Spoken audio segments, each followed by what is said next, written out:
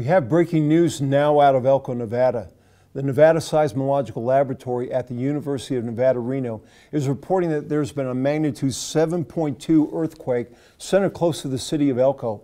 The earthquake struck this morning at approximately 9 a.m. and was widely felt in both Elko and the surrounding communities. Initial reports have been coming in of a fire near the Elko airport, utility line breaks including both natural gas and water, and damage to public roads and bridges.